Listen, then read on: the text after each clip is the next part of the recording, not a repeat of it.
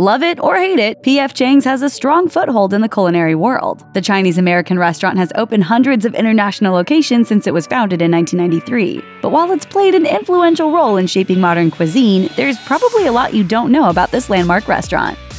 Back to its roots.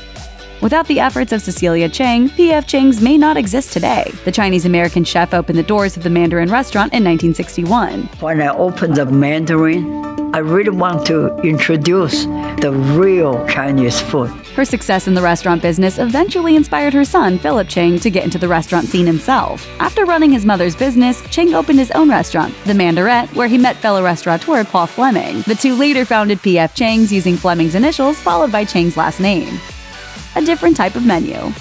Chiang's fresh and simple cooking technique became the foundation of P.F. Chang's Asian inspired menu. The most important thing, the first thing, is the food. But in spite of Chiang's insistence that the dishes served at P.F. Chang's are authentically Chinese, some recognize the food is very Americanized. CEO Michael Osanloo told Business Insider that while some dishes are inspired by Asian cuisine, others are created by P.F. Chang's chefs. He said, If you want a classic Japanese sushi experience, you're not going to come to us, but if you want some amazing rolls, we rock at that the secret sauce. Sriracha! Sriracha is everywhere these days thanks to P.F. Chang's, which goes through 100,000 bottles a year. The restaurant chain began using the condiment in 2000, and soon other popular chains like Applebee's and Wendy's followed in their footsteps. Business Insider reported that by 2016, hot sauce sales increased by 165%. It's so popular that 40 states prefer the condiment to ketchup.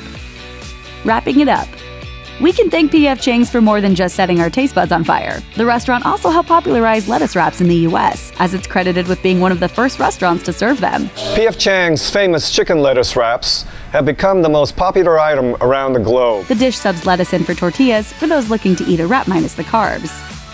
Putting in the hard wok. The P.F. Chang's kitchen is centered around the traditional wok, where dishes are cooked after being prepared fresh. The restaurant prides itself on scratch cooking, which means that everything you eat at P.F. Chang's was made fresh that same day. The dim sum is wrapped by hand every day, and even meats and vegetables are painstakingly sliced and chopped by hand. Serious accusations. Girls are so pretty. You should smile. In 2012, two women took legal action against P.F. Chang's, claiming they were harassed on the job. The San Diego Union Tribune reported the women said they were subjected to offensive comments and conduct from the male kitchen staff at the restaurants, including remarks about female workers' bodies and kissing and whistling noises aimed at female employees as they walked by. P.F. Chang's paid out nearly $1 million in total to these women in 2014, only to be faced with new harassment claims from at least four more women by 2016. While the company was reluctant to comment, P.F. Chang's insists they are committed to providing a workplace free of any type of unlawful harassment or discrimination. Surprising branding. P.F. Chang's has many international locations, but so far have only expanded into one East Asian country. The franchise has several restaurants in South Korea, along with dozens more in Europe, the Middle East, and South America. But part of the reason P.F. Chang's can't be found all over Asia could be due to the lack of demand for Americanized Chinese food. It, it's smiling at me.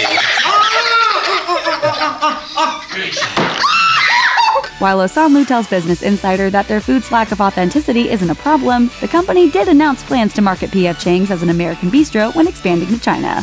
Thanks for watching. Click the mashed icon to subscribe to our YouTube channel. Plus, check out all this cool stuff we know you'll love too.